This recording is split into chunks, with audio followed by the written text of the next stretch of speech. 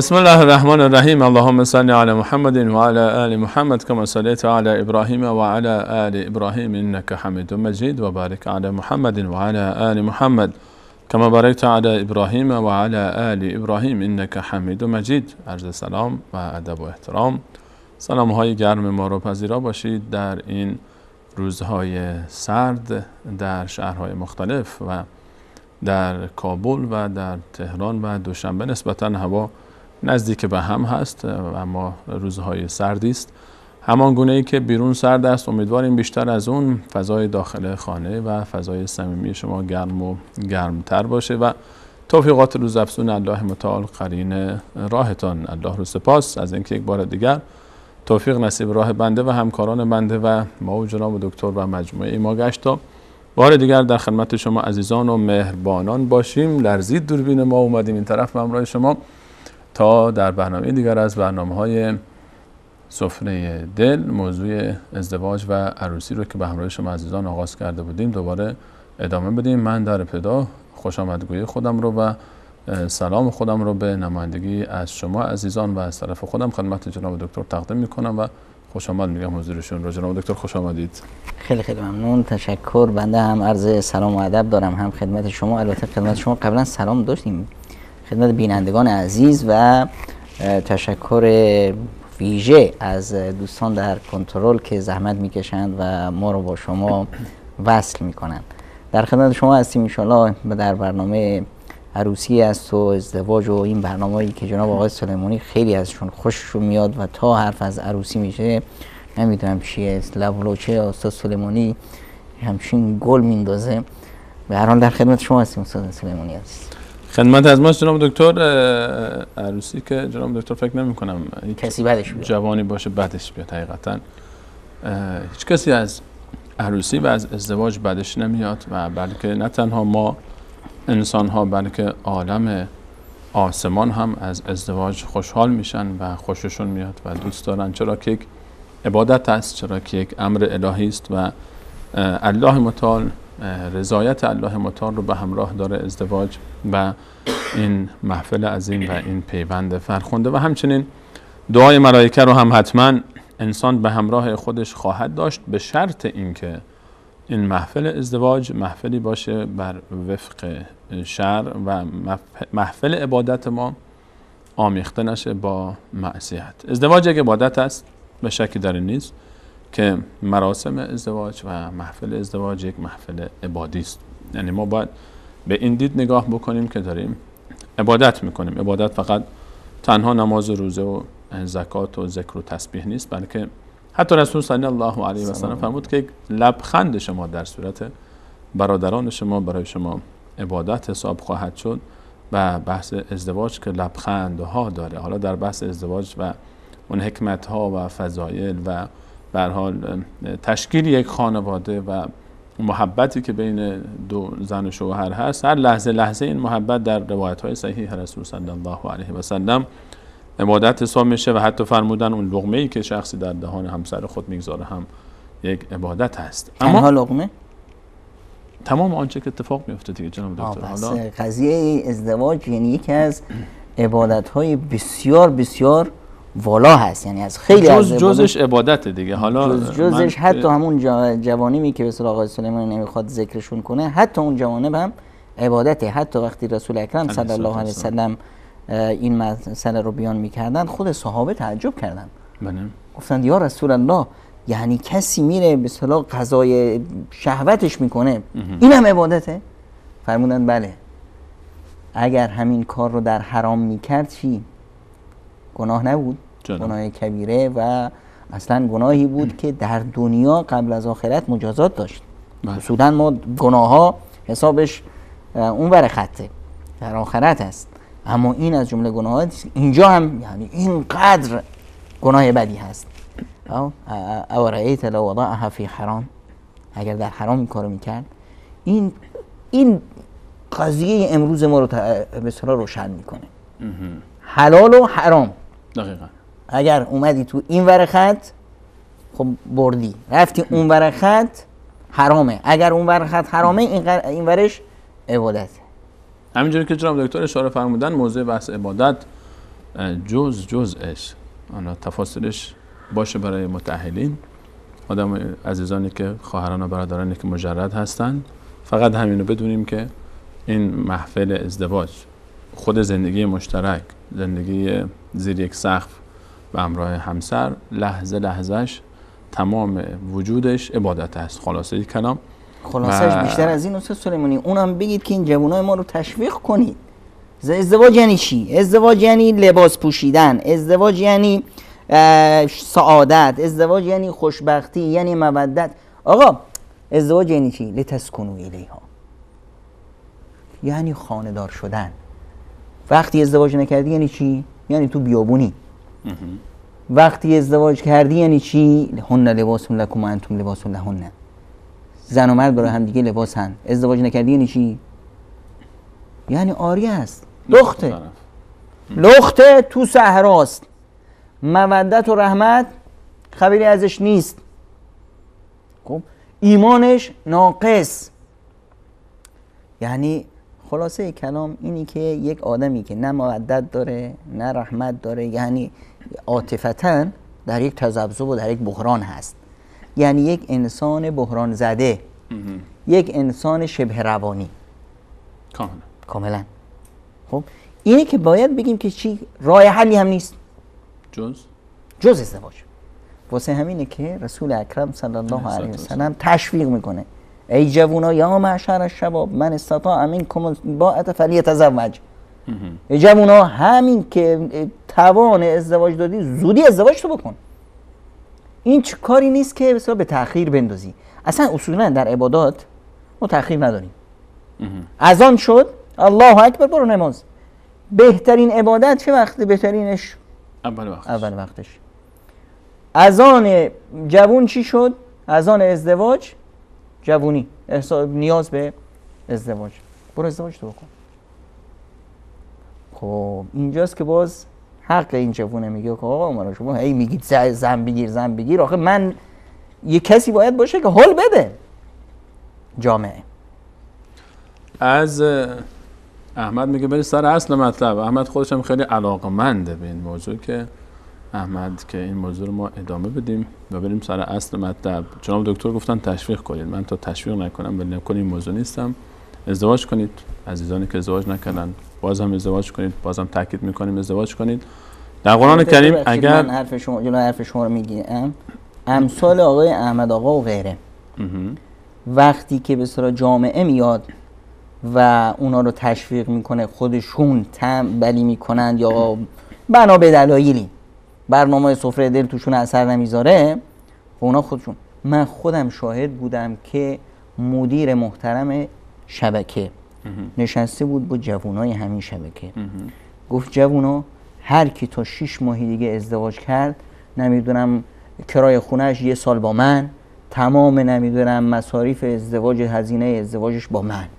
جناب دکتر الان قطع می‌کنه تصویر رو سرمون کلا کم فافی یک, یک دست من این, این قسمتش برای من مهم نبود مهم. این بود که می‌گفتم آقای مدیر خب بگو کسی که ازدواج دومم می‌کنه که همین از این حرفا انقدر جناب دکتر انقدر گله ها داریم از این صحبت ازدواج دوم تا بهش می‌رسیم. بریم سراغ اصل مطلب دوستان عزیز. ما درباره ازدواج صحبت کردیم. قبلا به همراه شما عزیزان و قرار بود در این برنامه در بعد دیگری از این ازدواج صحبت کنیم. ازدواج عبادته و فکر نمی کنم در کسی در این موضوع با ما اختلاف داشته باشه و همین ما در این بعد اتفاق نظر داریم که یک عبادت بزرگ است و در پرتو آیات و روایات رسول صلی الله علیه و سلم این, این موضوع کاملا واضح و آشکاره. اما یک مشکل وجود داره. آیا تا به حال شده که ما وقتی که نماز می‌خونیم مثلا جای نماز بیایم جای نماز وقتی که استادیم در کنار نماز بگیم حالا یک عبادتمون قشنگتر شه من مثلا خیلی خواهم حس بگیرم جای نمازم. یک موسیقی هم روشن کنیم و برخواد یک ساز و آوازی هم باشه که نمازمون خیلی احساسی تر بشه قشنگ تر بشه یا خدای نکنه انسان وقتی که مثلا قرآن تلاوت می‌کنه یک عبادت دیگه بگه من در کنار این عبادت حالا بیام مثلا یک سه چهار تا خواهر و برادر جمع بشیم کنار هم با آرایش و با لباس های قشنگ و یه محفل خیلی عاطفی ایجاد کنیم که ما می‌خوایم عبادت بکنیم قرآن بخونیم قرآنمون رو با لذت بیشتری جمع بشیم کنار هم دیگه. این به اون نگاه کنه اون به این نگاه کنه این بگه تو بخون اون بگه تو بخون. آیا میشه عبادت رو جمع کرد با معصیت؟ آیا میشه؟ بله. خیلی از ما این کار رو کردیم در محافل ازدواج. به نام عبادت آمدیم. این عبادت عظیم رو با بسیاری از معصیت ها و منکرات جمعش کردیم و شاید هم خودمون اصلا متوجه این موضوع نیستیم. من نمیگم خدای نکرده عمدن کسی این کار رو داره انجام میده اما شاید از روی برحال فراموشی از روی ندانم کاری داریم خیلی از این معصیت ها رو در محفل عبادت ازدواج انجام میدیم. امروز می‌خوایم به همراه شما عزیزان در این باب صحبت کنیم منکرات عروسی ها خیلی از عروسی هایی که ما برگزار می‌کنیم محفل عروسی و ازدواج که یک محفل عبادی است و عبادت است رو ما با بسیاری از منکرات و بسیاری از گناهان داریم انجام میدیم به توجیه اینکه یک شب که هزار شب نمیشه دیگه حالا یک شب که بیشتر نیست آدم یک بار ازدواج می‌کنه یک شب هم که بیشتر نیست و به حال یک شب دیگه شادیه و شب ازدواج هست. جناب دکتر آغاز سخن باشه بسم الله الصلاة والسلام علی حبیبی و مولای رسول الله و علی آله و صحبه و من والا میگم که واقعا انسان باید بگه قربونت رسول الله صلی الله علیه وسلم و ما کن الله لیعذبهم و انت فیهم خداوند متعال میفرمایه میفرمایند که اگر پیامبر خدا در میان شما باشه امکان نداره که خداوند شما رو عذاب کنه. این عذابایی که در برخی از خانواده ها مشاهدش هستیم. دعوا و مرافع و نمی‌دونم طلاق و نمی‌دونم مسائلی که هست خانواده اساسش چی هست؟ اساسش آرامشه. اساسش مهر و محبت هست. اگر آرامش نبود مهر و محبت نبود یعنی اینجا یک چیزی میلنگه. چیزی میلنگه. مهمترین لنگشش کجاست؟ نبود رسول الله صلی الله علیه وسلم اگر ما رسول خدا صلی الله علیه وسلم و شیوه زندگی شد و زندگیمون داشته باشیم واقعا دیگه اونجا غیر از سعادت و خوشبختی چی رو نمی‌بینیم. استاد سلیمانی عزیز همونطور که شما اشاره فرمودید که به خب مردم میگن که بابا ریتم زندگی همینه همه اینطوری هن. من که نمیشه از مرد من که موجود دیگه نیستم تو این جامعه هستم خب. خواهی نشوی رسوا هم رنگ جماعت. باش. پیامبر اکرم صلی الله علیه و سلم به ما نه. شما شخصیت داری. لا تکن امع نباش کسی که میگه که من دنبال مردم را افتادم. مردم این کار می‌کنن من این کار می‌کنم. این احسن نه احسن تو این اسا و احسن. اگر مردم کار خوب کردن منم کار خوب می‌کنم. اگر بد کردن خب منم هم رنگ جماعت. میگه اینجوری نباش. تو شخصیت خودت داری بادی تو شخصیت خودتو داری. تو مرد باید باشی. دختر خانم‌ها باید خود شخصیت خودشون رو ثابت کنن. آقا پسرها شخصیت خودشون رو ثابت کنن. جامعه می‌خواد من اینطور باشم. نه خیر. ببینید جامعه شخصیت من کجا مطرح میشه؟ پیش خدا جامعه احیانا خوب فاسد میشه. جامعه مشکل داره. کل جامعه می‌گفتن سمعنا فتن یذکرهم یقال له ابراهیم. شنیدیم یه پسر بچه ای اسمش ابراهیمه این کارو می‌کرد. بعد می‌گفت. بعد می‌گفت به خدایان ما. یه پسر بچه ای بهش میگند ابراهیم. به همین عبارت.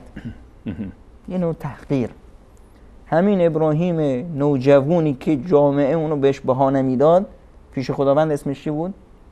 این ابراهیم. کن ام ابراهیم تک تنهایی یه امته. ابراهیم تک تنهایی از حضرت ابوبکر اگر ایمانش رو بذاری تو یک کفه ایمان کل امت رو بذاری تو یک کفه دیگه در جهت ایمان ابوبکر.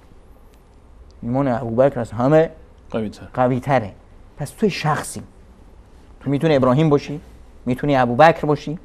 بذار جامعه هر چی دلش می‌خواد بکنه.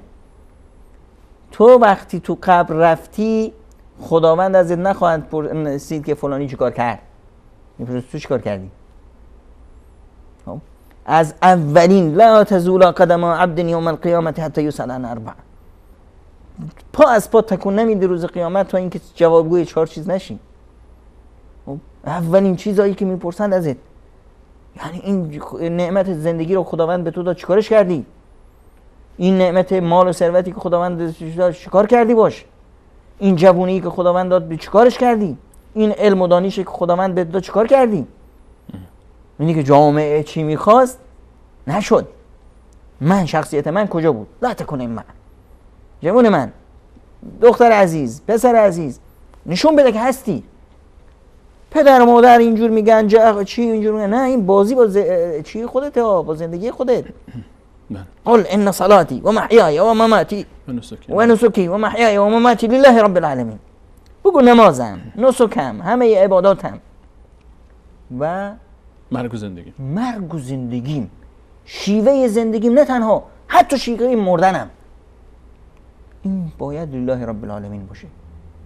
ابتدای زندگی آغازش ازدواجه این آغاز زندگی رو اگه تو کج رفتی بعدش می‌خوای چیکار ببینید اون کسی که تو ازدواجش باج بده مجبور تا آخر زندگیش باج بده. تو ازدواج باید جوانای ما ثابت کنن که شخصیت دارن. باید ثابت کنن که خودشونن. اگه یه کم کج رفتیم از ابتدای کار تا آخرش کج میریم. چقدر ازدواجایی هستن که همون شب ازدواج به صلاح طلاقش بافته میشه. چرا؟ شیطان شیطان خواب نیست. ما بعضی وقتا خیلی به اصطلاح بچگانه فکر می‌کنیم. فکر می‌کنیم که ما تو این دنیا منم و من کسی دیگه نیست. نشد ما توی بازی هستیم. زندگی چی اسمش؟ انما الحیات الدنیا. لعب ولا لعب. و نه ما توی بازی هستیم. باید اینو تصور کنیم. تصور اینه که ما توی یک بازی هستیم. توی مسابقه ایم. تو این مسابقه من و تیمم هستیم. خب طرف مقابل هم هست. بخش. خواهش می‌کنم. یه تیم جلوی روی من هم هست. اون تیم دروازه‌بانشو داره اون تیم بازیکنشو داره نمی‌دونم دفاعشو داره هجومشو داره نمی‌دونم خط همه اینا رو داره. انه یراکم هو و قبیله من حیث لا ترونهم. تازه اونا ما رو می‌بینن ما رو نمی‌بینیم. آه. خب همه اینا. حالا بعضی شما هم می‌بینیم. اون شیطانای وسوسه. اونا اون جای خودش. اصل کاری رو نمی‌بینیم. پشت سن جلوی اینایی که کو- کوکشون می‌کنن به حرکتشون در میارن. هر کسی اومد به اصطلاح شما رو گفت که کار منکر و ضد دین و نمی‌دونم ضد تعالیم که برای خودت گذاشته شده. انجام بدی این بدون که این خودش نیست. این تفلکی که حرف می‌زنه حالا برادر بزرگه حالا خواهر هست حالا عمو هست این این رو اگر می‌دیدی می‌دیدی که پنج شیش تا پی شیطان پشت سرش نشستن اینو دارن کوکش می‌کنن. اینو بگو اونو بگی اینو بگو. تحریکش می‌کنن. تحریکش می‌کنن. این حرف اون نیست. اگر این حرف عاقل این حرف رو نمی‌زنه. کدوم عاقله که بیاد بگه آقا من می‌خوام ازدواج کنم. خب؟ میای چی؟ میای لباس عروس. لباس عروس چیه؟ میری یه لباس آنچنانی. حالا خیلی ها باز به کلاسشون نمیاد مثلا برن لباس عروس کرایه کنن. باید خودمون بدوزیم. اصلا همون لباسی که کرایه می‌کنن بیشتر لباس عروس لخت کردن عروسه. هرچی لباس عروس کمتر باشه کلاسش بیشتر. یعنی حالا رو بعضیاشون دامنش دراز اما متاسفانه بدون تعارف صحبت بکنیم. بینندگان از من اگر معذرت می‌خوام بعضی تعبیر نامناسب باشه ولی دردهای جامعه هست. یعنی لباسی که از این قسمت به بالا کلا اوریان هست اصلا. آستین بر... خیلی از اینا که اصلا آستین نداره. استاد سلیمانی عزیز من از خیلی از خانواده ها نمی‌خوام که صحابه بشن. اگه ابو جهل بشن من دستشون رو میبوسم. یعنی چی؟ بابا غیرت خیلی حرفه. غیرت یعنی چی؟ غیر از خود را راندن از حرمت ها و از به اصطلاح اون چیزی که ممتلکات شخصی منه. غیرت یعنی اینی که من در مقابل اون چیزی که مال منه غیری رو تحمل نمی کنم خب؟ ابو جهل که ابو جهله بهش میگن آقا ابو جهل تو شب هجرت رفتی دم در خونه محمد صلی الله علیه وسلم آخه مرد اینقدر عقلت نبود در رو میشکستی می‌رفتی می‌بینی که چه خبره داخل خونه. میگو من غیرت دارم. می‌خواد دنیا تا آخر بگه که ابوالحکم رفت دخترای محمد رو ترسون حد که حرمت کرد. این کسیه که در اوج دشمنی با رسول صلی الله علیه و سلم هم هست. و یه انسان یه شیطان به تمام معنا. تم... یه شیطان تمام ایار. خب؟ این وضعشه اون وقت ما فکر می‌کنیم وقتی که ازدواج شد دیگه باید چی بشیم؟ مزحکه مردم. ببینید بعضی ها خیلی میمونند آقا سلیمانی. ببخشید این الفاظ میگم واقعیت امره. حالا میگید که خیلی میمونن یعنی چی؟ چطور؟ میمون بیچاره چیکار می‌کنن؟ ببینید تو خیابون همه جمع شدن. چیکار می‌کنن؟ میمون رو تماشا می‌کنن. چیکار می‌کنه این میمونه؟ شکلک در میاره. جب توجه می‌کنم. روی صندلی میشینه. خب همه مردم رو صندلی میشن کسی توجه بهشون نمی‌کنه. یعنی یک کسی که کارهایی که مالش نیست و انجام میده خیلی عجیبه. مردم تماشاش می‌کنن. خب؟ آخه این کارهایی که ما خیلی از ما انجام میدیم تو مراسم به ازدواج این از ما نیست. نه عرف ما اینو ایجاب می‌کنه نه اخلاق ما ایجاب می‌کنه نه فرهنگ ما ایجاب می‌کنه نه دین ما ایجاب می‌کنه. اینا چی است از فرهنگ های وارداتی. آقا یه کسی مثلا اینجوری می نشست اینجوری می پوشید ما هم اینجوری می پوشیم خب این شد میمون فلان ستاره فیلم سینمایی یا ترکی و هندی و فلان لباس های. عروس لباس های کدومش از ماست؟ اینایی که مثلا تو بازار هست الان کدومش از ماست؟ لباسی که نصف سینهش اوریان است لباسی که مثلا دستاش اوریانه لباسی که نمی‌دونم شکل و قیافه اوریانه خیلی قصه زیبایی خوندم استاد سلیمانی اگر اجازه بدید اینو برای بینندگان بگم که خیلی جالب بود. خب یه دوستی نوشته بود توی روزنامه مصری می‌گفت که سوار قطار بودم. می‌رفتیم نمی‌دونم از اسکندریه به محمودیه. از بخت غذا یه شادومادی با خانمش هم سوار شده بودن. می‌رفتن چی؟ مثلا ماه ما حسن. با همون لباسا. با همون لباسی به تازه فلان اینا. میگه جلوی این به آقا شادوماد و خانمه یه پیرمردی نشستیم خب همه تماشا می‌کردن عروسی به این خوشگلی و زیبایی و این همه رنگ و رودن و اینا. خب این پیرمرده چیکار می‌کرد؟ هی می آورد چشاشو جای سینه همین عروس خانم اینجوری نگاه می‌کرد. این حال داماد گرفته شده بود. آخه این پیرمرد زوار در رفته بی‌فرهنگه. بی فرهنگ. هی چند دقیقه می‌کرد میومد ندید آخر پدید. دیگه بهش میگن ندید پدید. ندید پدیم بعد دیگه خیلی به جوونه برخورد به داماده داد کسی سرش رو یه حالش داد. گفت پسرم چی شده؟ گفت این؟ چه- چیکارا چی می‌کنی؟ میگه که اولا اگه قضیه اینه که من دارم تماشا می‌کنم خب همه دارن تماشا می‌کنن. تازه خودت گفتی تماشا کنن. وقتی اینجوری آوردش که آوردی یعنی. چی؟ یعنی آی مردم نگاه کنی چه زن خوشگلی دارم. همینه معناش خب حالا همه تماشا می‌کنن. خودت صدا زدی مردم دارن تماشا می‌کنن. دعوت کردی رسما دیگه. اما اگه مشکلت اینه که چرا چشامو میارم نزدیک؟ خب چشام ضعیفه بابا. آخه. من مثل دیگران خوب نمی‌بینم. خب قضیه اینه. قضیه اینه که ما یه مقداری به باید بفهمیم که وقتی می‌خوایم بگیم لباس عروس لباس عروس لباس غیرته. لباس عروس لباس حشمته. آقا می‌خوای سفید باشه می‌خوای قرمز باشه یعنی می‌خواید می‌خوای بگید که اصلا. نباید لباس عروس پوشید؟ لباس عروس بپوش اما بپوش. آها. نه اینکه این لباس عروس بکن. خب؟ که میگن؟ یه جایی درست کردن اسمش هست رخت کن عروس خانم میره تو رخت کن رختشو می‌کنه میاد بیرون. خب رخت کن اصلا کنم به جای که اتاق میشه که انسان لباس عوض می‌کنه دیگه. لباسشو در میاره می‌کنه. رخت کن کن رختشو اومد بیرون. یادش رفت که لباس دیگه بپوشه. این نشد.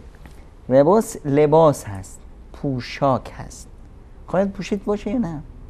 اما وقتی نپوشیدی دیگه حق نداری. فردا که عکس خانم تو دیدی تو خیابونا تو نمی‌دونم موبایلا مردم رد و بدل می‌کنن تو یه جایی تو عکاسی دیدی که بزرگ برای عکاس به خاطر اینکه نشون بده چه عکس خوشگلی گرفته گذاشته تو عکاسیش حق نداری اعتراض کنی. خودت بردی پیش عکاسه. خودت عکاسه رو دعوت کردی بیاد. وقتی فیلمش رو دیدی فیلم تو دیدی تو محافل اصلا به بعضی از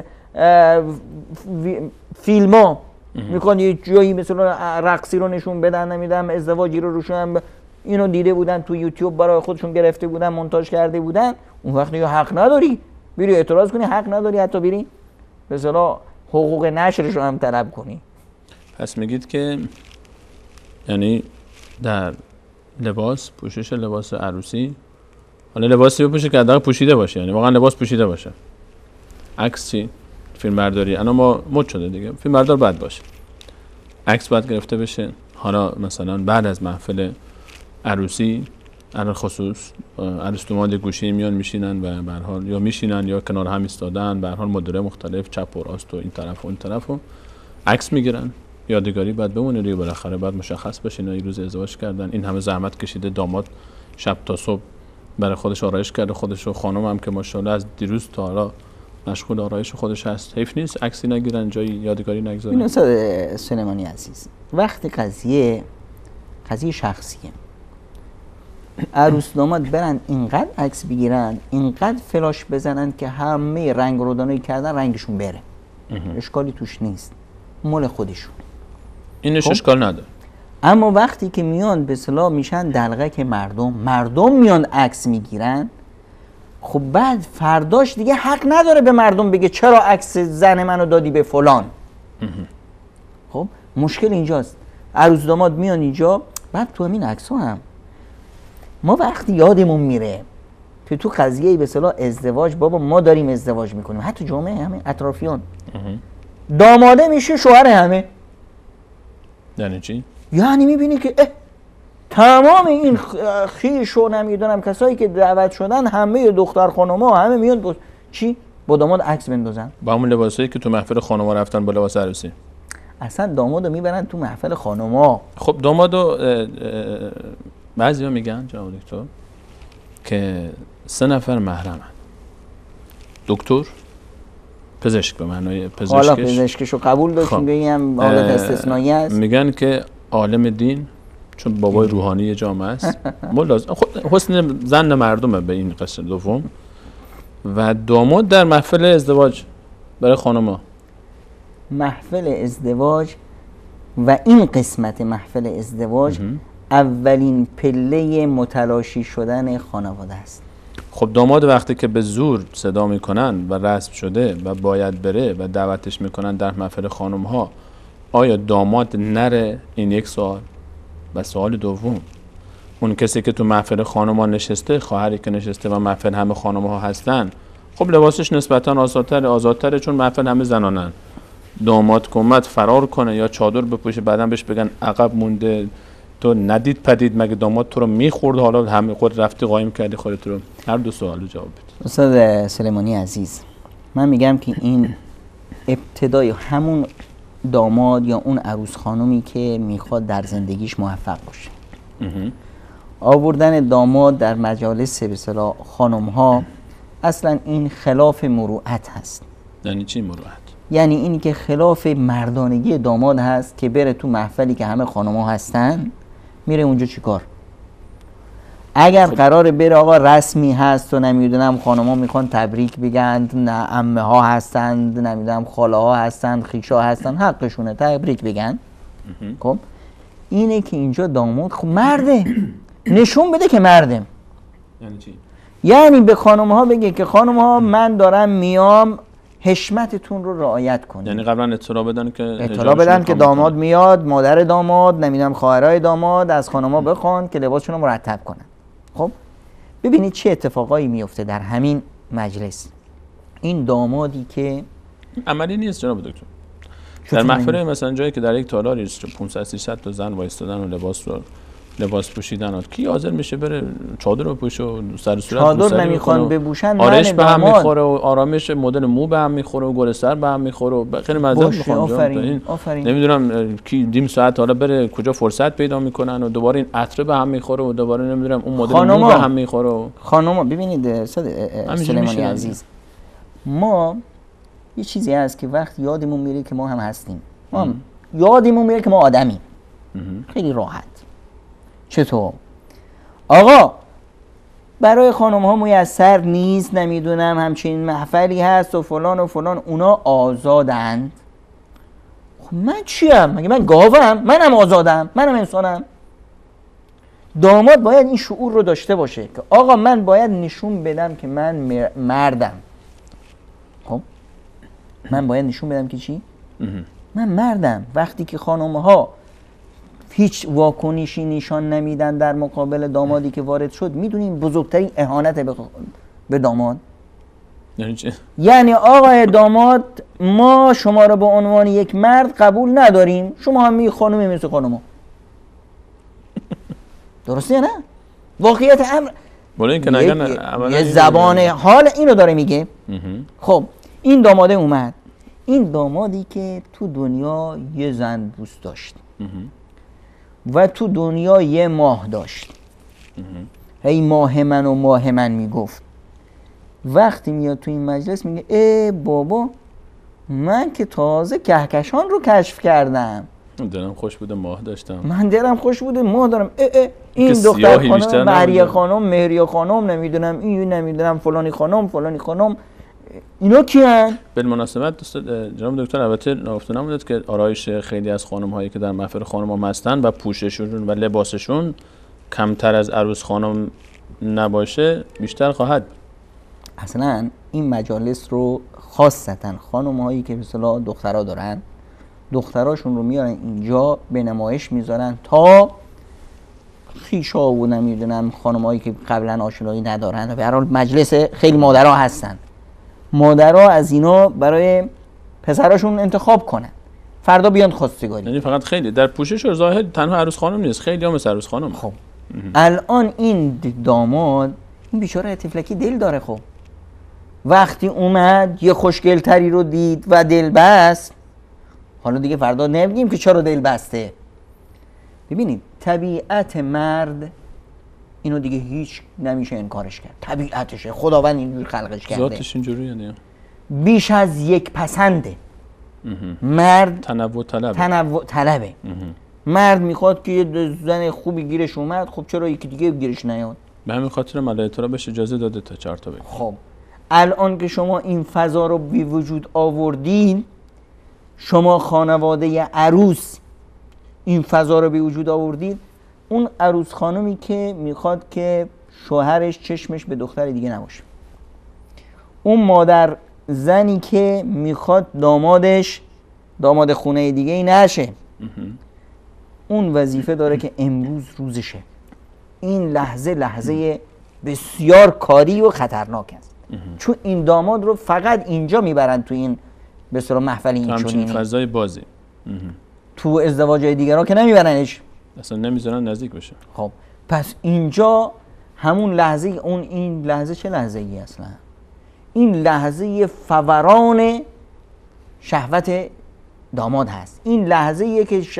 به صلاح اصلا به صلاح داماد همه این ریتم ازدواج و برنامه ای که میچیدیم اینا همش منتظر این شبه. منتظر این لحظات هست. بله. این لحظه رو شما اومدید بسیار داغونش کردید دیگه فرداش حق نداری بنالی. نه عروس حق داره بناله خودش در این محفل بود. چرا؟ چرا عروسه بلند نشد؟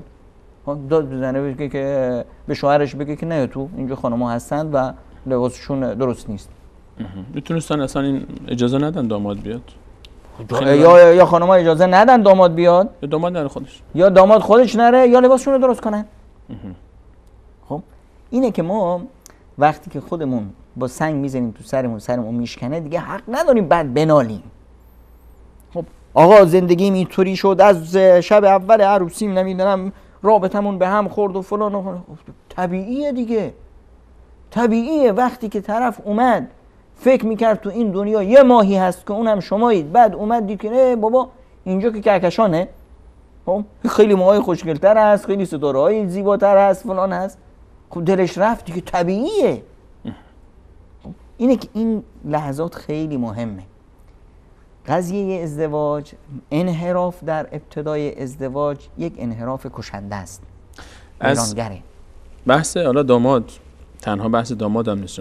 در خیلی از مراسم ها ما می‌بینیم که متاسفانه تنها داماد نیست که میره پیش خانم ها. اصلا کلا فضای ازدواج قاطی پاتی هستن دختر و پسر خانم ها. حالا شاید محفل نزدیکترن به هم بعضی به این حجت و دلیل که خانوادگی محفل و بعضیا این رو به عنوان یک کلاس می‌گذارن اسمش رو.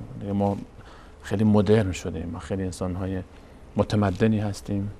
به حالا شاید مثلا شخصی رفته در یک فضای زندگی می‌کنه یک فضایی است که مردم اون کشور با هر دین و باور و آینی که دارن براشون اینجوریه دیگه. یعنی مرد و زن معنایی نداره ازم جدا باشن. همه با همن در یک فضا با همون لباس با همون تیپ کنار هم وای میستن میشینن. اصلا اختلاط هست. یعنی به معنا که زن و مرد قاطی هن. بخش مردم و آقایون و خانم ها نداره. اینا رو چی میگید؟ ببینید وقتی که ما میریم فرهنگ دیگرا رو میاریم خب؟ وقتی که طرف اومد یه لباسی پوشید که لباسش نیست. خب؟ اومد لباس یه مکانیک رو پوشید. یکی اومد دستشو گرفت آقا بیا ماشین من درست کن. دیگه حق نداره بگه که آقا چرا با من این رفتار رو می‌کنی؟ به من برخورد خب تو لباسی که پوشیدی لباس مکانیکه. لباسی که پوشیدی لباس رفتگره. لباسی که پوشیدی مثلا لباس بیماره. پرستاره. خب. پس وقتی که شما میاد یه لباسی فرهنگی دیگری رو میپوشید باید طبعات اون فرهنگ رو هم منتظرش باشید. اون فرهنگی که اینطور اختلاط داره تو اون فرهنگ ما چی داریم؟ هزار و یک بیماری داریم.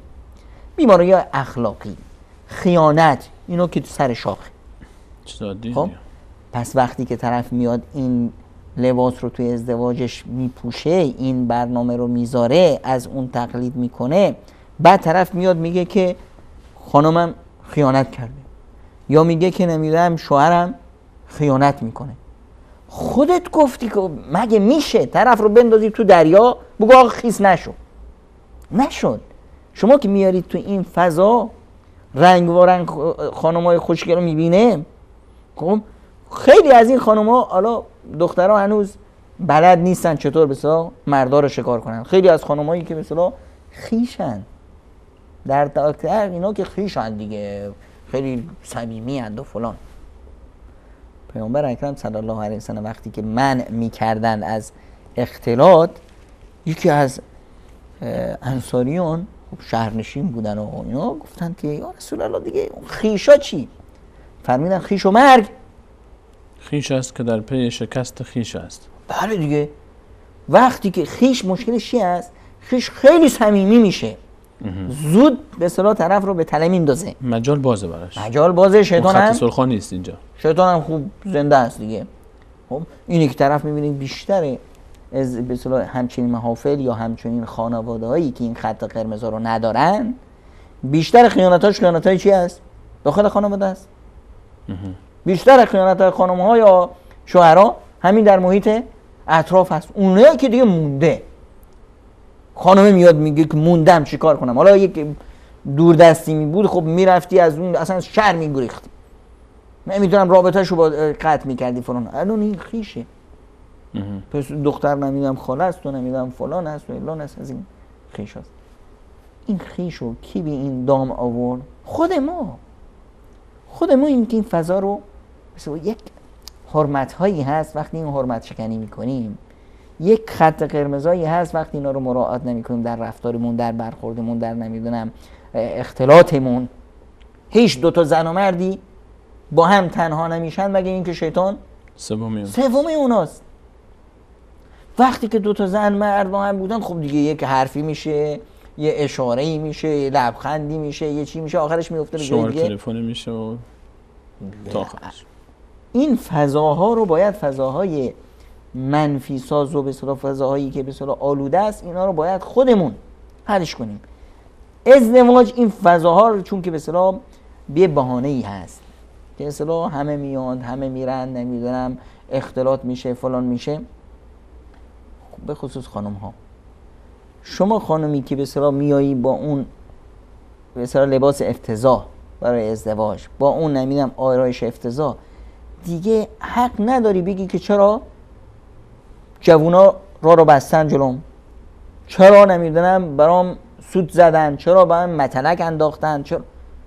تو داری خودت میگی این کار با من بکنید این پوشش معناش چی است؟ ببینید دوستان سلیمانی عزیز ما این رو با چش خودمون تو بازار رو می‌بینیم. یه دختر خانومی که لباسش هجابش درسته کسی جرأت می‌کنه بهش بد بگی امکان نداره. چرا؟ چون این لباس داره به همه جامعه میگه لباس داره حرف می‌زنه.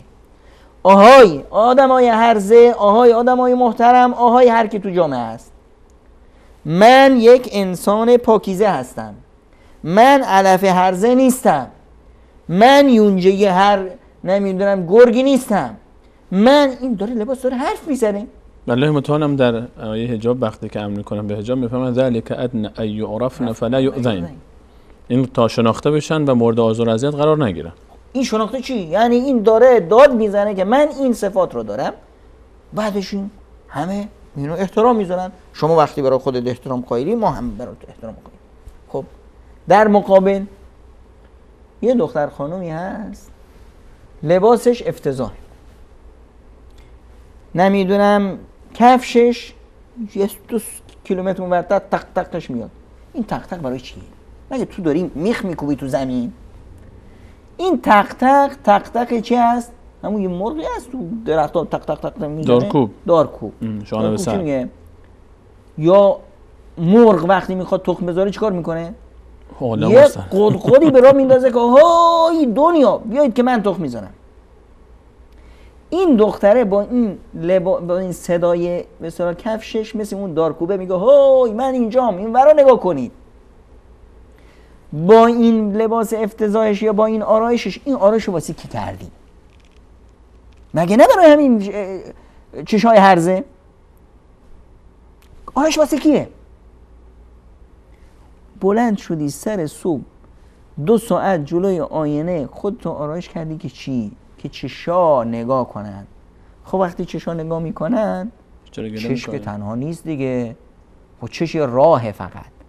چش میاد به دوربین می‌زنه بعد خبر میده به داخل. خب شهوت تحریک میشه زبان تحریک میشه پا تحریک میشه دست تحریک میشه.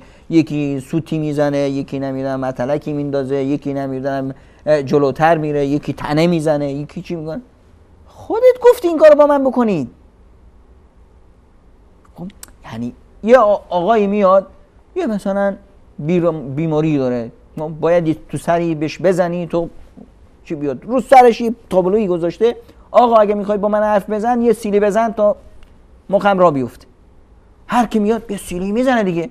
این خودش خواسته. حالا دیگه ما نمیگیم که مردم دارن بهش ظلم می‌کنن. نه بابا این اینجوری را میفته حالا اون دختر خانومی که همچنین است این الان با این پوششش داره داد می‌زنه. آهای مردم بیایید با من این رفتار رو انجام بدید خیلی ممنونم. جناب دکتر اجازه بدید به همراه شما و بینندگان عزیز. میان برنامه ببینیم برمیگردیم. اجازه بدید ان شاءالله در خدمت شما عزیزان خواهیم بود با ادامه موضوع منکرات عروسی ها. با ما باشید. موضوعی داریم هنوز. نصف وقت برنامه رو برنامه شما رفتیم.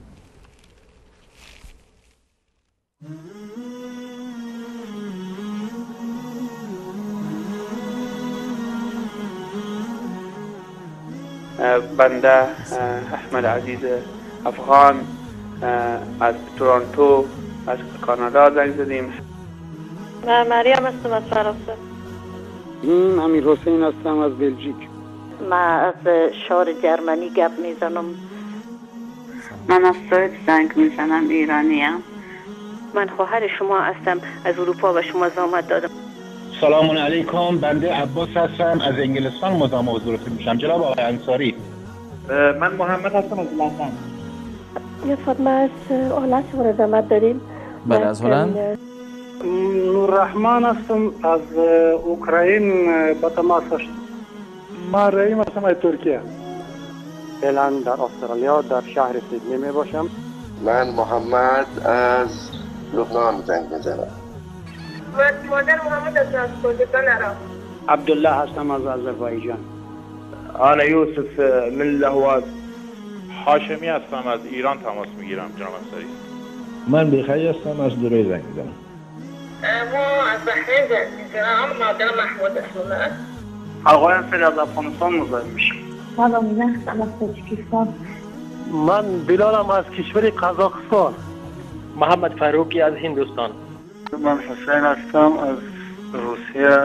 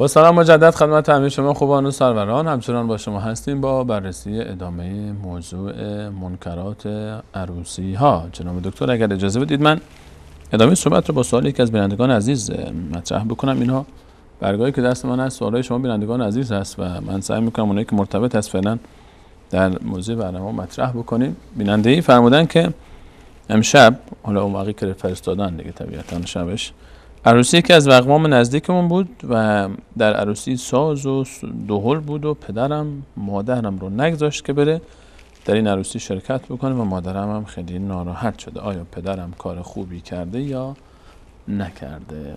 از این سوال من می‌خوام به چند مورد شما اشاره بفرمایید. اصلا اول اجازه بدید قبل از اینکه حالا باباشون کار خوبی نکرده یا کرده که در آخر به این پاسخ بپردازیم. قبل از اون موضوع بحث ساز و دهل و رقص و به حال پایکوبی و این نورهای رنگ و رنگ و مخصوصا این باندهایی که الان دیگه نه تنها تالا رو دوب دوب می‌کنه. و دیست دیست می‌کنه غالبا در بافت حالا مناطق ما در سه کشور فارسی زبان طبیعتا هر جا. تا اسم عروسی میاد ساز و دهل و رقص و آرایش لباس های آنچنانی و برهنگی برای بخش خانم ها انگار که جزئی از ذات عروسی است. و نقص هر کدوم از این موارد به هر چقدر اینها کمتر بشه طعم و لذت و مزه و معنای عروسی کم میشه و از بین میره. میشه عروسی بدون ساز گرفت مگه محفل عزاست مگه کسی مرده که ما اینجا سخنرانی بگیریم؟ قرار نشد وقتی که ما میگیم که به صلاح کار منکر نباید کرد یعنی اینی که سخنرانی بشه. قرار نشد که مثلا ما شادی وقتی میگیم عروسی عروسی اصلا شادی هست. باید شاد بود. باید خوش بود. اما باید خوش بود.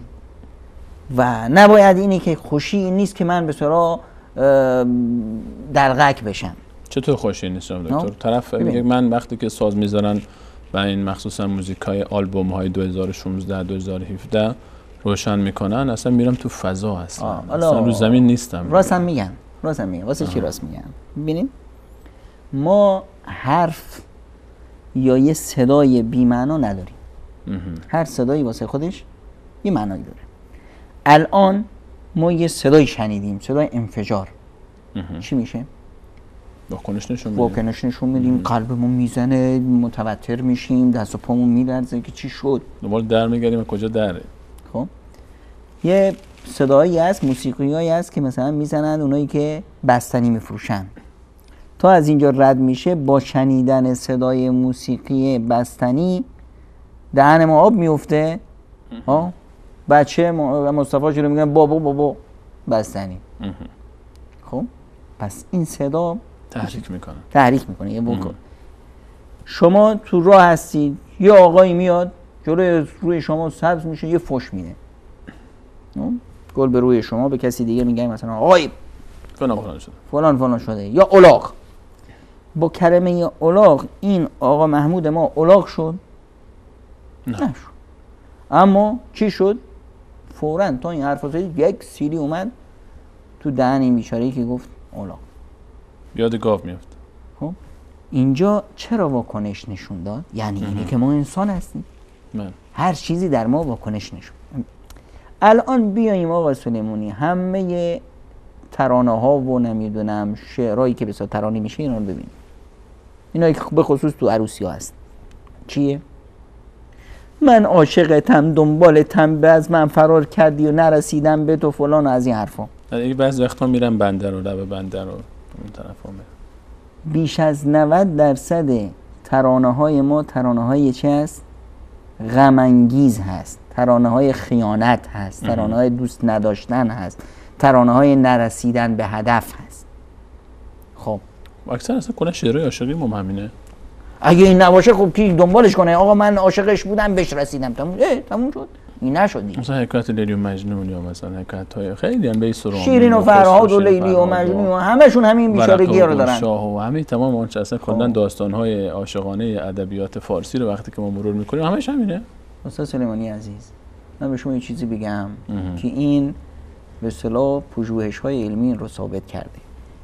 افرادی که ترانه گوش می‌کنن این افراد بیمارن بیمار روانی. غریب به اتفاق افرادی که خودکشی می‌کنن افراد معتاد به ترانن.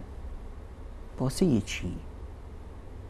آخه این بیچاره نه مشکلی تو زندگیش داشت نه می‌دونم نه فقر و فاقه داشت رفت روی برج آزادی خودشو انداخت پایین خوش به حالش. با کله رفت تو اسفالت خب. چرا؟ وقتی میری نگاه می‌کنی اه تو موبایلش صد تا ترانه هست. این ترانه ها چیه؟ آقا فلانی فلانی عاشق فلانی شد بهش نرسید این درد اون صاحب قصه رو این داره. چون این شنیده؟ مگه ما فیلم نگاه نمی کنیم؟ خب؟ و واکنش نشون میدیم؟ اصلا تو همین بینندگان عزیز الان بعضیا هستند که حرفای ما رو گوش می‌کنن میگه دمت گرم دکتر؟ البته بعضی هستن دستتون خیلی هم عصبانیان اینم می‌خونم براتون. حق دارن؟ خیلی عصبانی. حق دارن؟ یعنی اینی که این حرف ما یه واکنشی ایجاد می‌کنه اون داره تفاعل نشون میده. خب؟ پس این وقتی که به اصطلاح غم دیگران رو میاد می‌گیره تو بیشتر غریب اتفاق نمی‌دونم ازدو... ترانه های عاشقانه ما خیانت هست این داره به همه چیز بدبین میشه. تو این ترانه تو این فیلم مبتزل زن خیانت کرد. این اولین سوالش رو خودشه. من واقعا بچه حلالم یا نه؟ رو مادر شک کرد. رو زن شک می‌کنه. روی نمی‌دونم خواهر و خیش و همه شک می‌کنه. این چطور می‌تونه زندگی ما خوبی داشته باشه؟ حالا روی رقص و ساز عروسی. رقص و ساز عروسی همینه.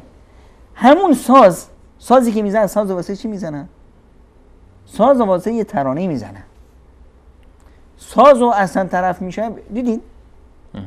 ساز خودش تحریک کننده است. اصلا کننده موسیقی اینطوریه. بچه یه ساله رو می‌بینی اصلا نه رقصی دیده نه چیزی. میاد جلوی تلویزیون می‌بینی ر... میرقصه. با چی میرقصه؟ بلد نیستم کمر تکون میده برای ما.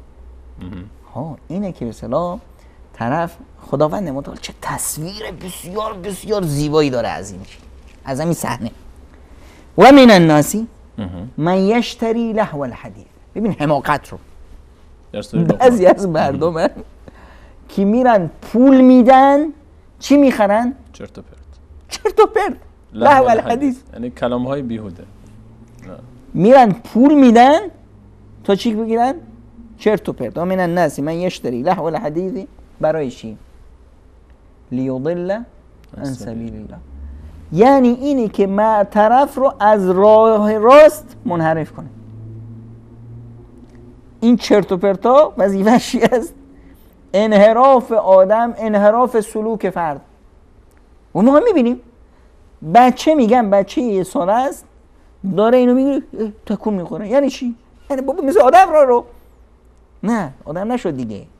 لیضل عن سبیل الله از راه راست کش شدن. می‌دونه این کارو می‌کنه؟ به غیر علم. بیچاره این کارا رو می‌کنه این ور و اون ور میره خودش هم حالیش نیست. اصلا متوجه نیست چه غلطی داره می‌کنه.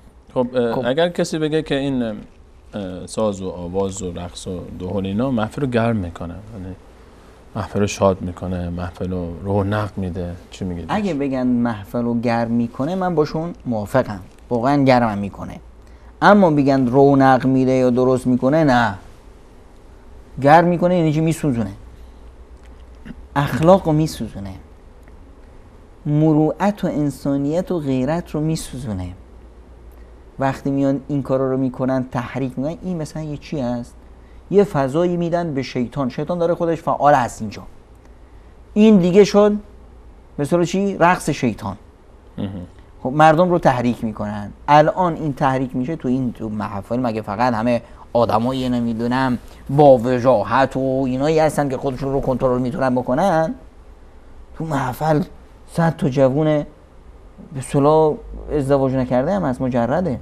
نه اصلا به زور دستشون رو می‌گیرن بلند می‌کنن میگن باید برقصی آه. کی ول می‌کنه. خب الان که این رو شما تحریک می‌کنید بعد دیگه پیامداش چرا مینالی؟ چرا مینالی که به دخترت بد نگاه کرد؟ چرا مینالی که نمی‌دونم به زن فلانی خیانت کرد؟ چرا؟ خودت رفتی همچین فضایی. خودت همچین فضایی رو به راه انداختی. خب اینه که یک وقتی که ما میگیم مثلا یه حد و مرزایی رو بذاریم حد و مرزا برای چی هست؟ برای اینی که آزادی ما حفظ بشه. کرامت ما حفظ بشه. آزادی برنگرده به بیبندواری و لاعبالیگری تبدیل نشه. وقتی ما خودمون میایم لاعبالیگری و بیبندواری رو رونق میدیم خب وقتی که دودش اومد تو چشون چشون کور شد دیگه نباید بنالیم. اگه موسیقی موسیقی مجاز باشه چی؟ یعنی حالا بعضی تقسیم می‌کنن. یک سری موسیقی هایی هست که خوانندش اونور آبیه رفته اون طرف آب. و یکی هست توی فضای کشور داخل کشور داره می‌خونه. حالا اینو اسمشو گذاشتن مجاز اونو گذاشتن غیر مجاز. و حالا اینو چی؟ از اینه که مجاز هست. مجاز دیگه. یعنی چیش مجازه؟ وزارت فرهنگ و ارشاد اینو اجازه داده پخش بشه. وزارت فرهنگ و ارشاد بی خود کرده. اون کسی که تو وزارت فرهنگ و ارشاد چی بوده؟ کی بوده است ببین وقتی دنبالش میگردیم می‌بینیم واقعا خودش یه خواننده بود. نمی‌دونم خودش از همینجا ارتزاق می‌کنه. خب اگر موسیقی وطنی باشه مثلا مالیک از مشاهیر خواننده های کشور مورد خوب می‌خونه قشنگ می‌خونه خوب خوندن اصلا صدای خوب نمی‌دونم شعر خوندن سرود خوندن محفل رو گرم کردن و شاد کردن اصلا کار عروسیه. آها حالا پس فرق این دوتا چیه؟ شما از یه طرف میگید موسیقی نباشه از یه طرف میگید شعر و شعر و سرود باشه نه فساد به آوباریگری هر چیزی حدی داره. یعنی موسیقی همیشه نباشه. همیشه استاد سلیمانی عزیز یه چیزی ما به صلاح حد وسط داریم. این حد وسط مفیده. غذا مفید یا نیست؟ نخوریم میمیریم. پرخوری کردیم چیکار میشیم؟ بازم میمیریم. بازم میمیریم. خب؟ یه دارو خوبه. سردردی نمی‌دونم آقا یه آسپرین بزن. صد تا زدی چی میشی؟ برای همیشه راحت میشه ازش. آفرین. اینه. یعنی ما بیایم آقا محفل عروسی محفل شادی است. محفل بیبندواری نیست. محفل عروسی محفل عبادت هست. عبادت باید به بهترین وجهش بشه. به زیباترین شکلش بشه. عبادت دیگه این نیست که شما بیاد به طرف رو میگی آقا بیا این گوش من یکم میخورونه بخورونش. نه این گوش ما قطع کن. خب بخاطر اینکه به نتیجه برسیم. ساز میگه فرمایید نباشه رقص نباشه. شعر باشه. یعنی شعر باشه سرود باشه ترانه یعنی کسی بیاد بخونه باشه. کسی با صداش بخونه بدون موسیقی و رقص. صدای زیبا بیاد بخونه چند نفری بخونن همه بخونن. چه چه بزنن. چه چه بزنن خوش بگن اصلا شاد باشن جوک تعریف کنن نمی‌دونم. بیان محفل رو محفل به شادی کنن هم دیگر رو بشناسن. نمی‌دونم تو تو جامعه ما استاد سلیمانی عزیز یک قدرت ها و یک توانمندی ها و یک ابتکاراتی هست. فقط همون جوونا رو اصلا وقتی طرف میره میاد یک نمی‌دونم افرادی رو کرایه می‌کنه پولم میده میاره چی چی موسیقی و ترانه را میندازه. می‌دونی در به زبان حالش به مردم چی میگه؟ به جوونا میگه بتمرگید گوش کنید اون چیزی که من دارم به شما خورده شما میدم کوفت کنید. خب به همین سراحت. خونا دوست دارن اگر من بابا کجاش دوست دارن؟ همیشه صدای دهل از دور خوش هست. اونایی که اونجا هستن بیچاره گوشاشون رفتن همچین حواسشون پرته دو نفر نمی‌دونم ببینید در همین محافل تا اونا دق دق دق می‌کنن نمی‌دونم همه اذیتن. یکی نیست مردانگی کنه آقا معذر از خدا همین صدا رو بیاد پایین. گوشای خودشون به صورت داره کر میشه. همسایه رو اذیت کردن فلان. همینو اگر ما از اینجا ورچیدیم. به همین جوونا فضا دادیم. ببین از همین جوونا چه ابتکاراتی میاد. یعنی همین جوونا رو ما به جای اینکه بیان اینجوری حرفای چرت و پرت بقیه دیگه رو بخونن و با موسیقی اینا یه شعرهای هدفمند شعرهای مرتب زیبا وا شعر بخونن ما... تئاتر نمایش اجرا کنن جوک بزنن محفل رو شاد کنن. یک اصلا قدرت های این جوان های ما دارن یه ابتکاراتی بکنن که به خدا اصلا اونایی که اومدن کف کنن. ندونن که اصلا کجا اومدن و چطوری از اینو برن. میشه همین رو جهدهی کرد با ضوابط شرعی در مجال شرعیش استفاده کرد ازش. همینه تا ما به سرا علف هرزه رو بذاریم کنار فضای ما فضای زیبا میشه. چرا ما هی زوم می‌کنیم دوربین ما که علف های هرزه رو نشون بدیم آقا سبزی از اینه. سبزی از علف هرزه نیست. سبزی از این درخت های خوب از این گلاست از این نمیدن فضای زیبایی است که به این ابتکارات جوانای و نوجوانای ماست. در عروسی جناب دکتر اگر سرصدا و نباشه ترقه مرقه نباشه یک جاهایی مثلا در برخی از مناطق کلاشینکوفی نیارن ترق سر صدا نکنن زیاد انگار که نمیچسبه به داماد. اینو چیکار کنه استاد سلیمانی عزیز. چقدر از عروسی ها بوده که همین نچسبیده نچسبیدهش دو همون عروس عروسی. یک گل معصومی پرپر شد. چقدر از همین عروسی ها بوده که نمی‌دونم یک کودکی چشش کور نشده. یه نمی‌دونم بزرگتری مثلا کلاشیکوف نخورده به سرش و مثلا داغون نشده. ما خداوند به ما عقل داده. هر آن چیزی که مخالف عقل هست اون اصلا حرام هست. درست نیست. عقل اصلا اساس انسانیت ما عقله. این عقل خداوند به ما داده. چرا ازش استفاده نکنیم؟ بابا تیر هوا زدن و دستت رفت کج و به چند نفر رو کشتی. اون وقت خب این تلقایی که مثلا الان اونقدر صدا داره ولی خب شاید سر جسمی نداشته باشه. ترقی ترقی داریم همین فش فشه بزن نمی‌دونم نشون بده که اینجا ازدواج برف شادی بزن نمی‌دونم فلان. اصراف نکن. اما هر کار دیگه که به اصطلاح نمی‌دونم فش فش آقایی هست که رنگ می‌ذاره تو مردم بفهمن مردم بدونن که اینجا عروسیه. بزن تو دلت می‌خواد بزن. اما نه که یه چیزی که بسیار بیا خونه مردم رو بسوزونی. نمی‌دونم بیایی بذاری نمی‌دونم توی ازدواجی ما بودیم توی های صدایی تو محفله بنده خدا یک کت چی پوشیده بود تازه خریده بود خیلی هم گرون قیمت خریده بود یه آدم با وجاهتی بود. پسر بچه اومده بود یه ترقی انداخته بود تو جیبش. تا! بعد هم مثل اولاغ نشستن قا قا قا, قا میخندن. این بیچاره پرید اون بر بعد نگاه کردیم که کیف این بیسلو کتش از اینجا دکتر آدم نخنده چیکار کنه به این موارد؟ خب الان ببین این این من دیوونگی ها باید خندید این واقعا دیوونگی واقعا این دیوونگی خب. اینو اینجا وقتی میخندن از چی میخندن؟ از این دلغک بازی این طرف میخندن. خب اینه که حتی تو عروسی ها باید مواظب فرزندمون هم باشیم. خیلی از بچه های ما تو عروسی ها خراب میشن. پدر مادر مواظب در چه عروسی هایی؟ در همین همچه عروسی هایی در خیلی از عروسی هایی که حتی بسیار فضاش فضای عروسی خوبه اما بیرون از فضا بچه ها رو رها کردن. تو این فضا خاصتا بیشتر این عروسی ها برنامه برنامه‌اش تو شبه. غالبا. غالبا. بعد بچه ها همینجور ولو هستن. تو این بچه ها هر نوع بچه هست. بچه خوب است بچه هرزه است نمی‌دونم شیطون نمرده. خب خیلی از بچه ها عادت بعد از اینجا یاد می‌گیرن. خیلی از بچه ها بلاهای سرشون میاد. خب حالا بلاهای جسمی هست بلاهای اخلاقی هست بلاهای فران خیلی از بچه ها در همین محافل بلاهای سرشون میاد که تا آخر عمرشون جبران ناپذیره. جز که خانواده ها باید هوای بچه هاشون رو داشته باشند این بهترین فضاست. بهترین فضاست برای پسرها برای دختر خانما مادرها می‌گیرن کنار خودشون نگهشون میدارن. پدرها می‌گیرن کنار خودشون نگه میدارن. در این فضا فضای بزرگا نشستن کوچیک نشسته فلان. بچه ها فن شیوه برخورد با جامعه بزرگ رو یاد می‌گیرن. فن چگونه مثلا با بزرگتر سلام کردن بزرگ و کوچیک شناختن رو یاد می‌گیرن. ما الان متاسفانه رسانه ما اومده این تفاوت های سنی رو از بین برده کل بچه های ما رو داغون کرده. بچه ما نمی‌دونه که با بزرگتر چطور حرف بزنه. چطور سلام کنه. چطور نمی‌دونم یه آدم بزرگ سال خورده ای هست چطور دستشو ببوسه. هیچ اصلا بلد نیست. در مقابلش چطور بشینه. این فضاست.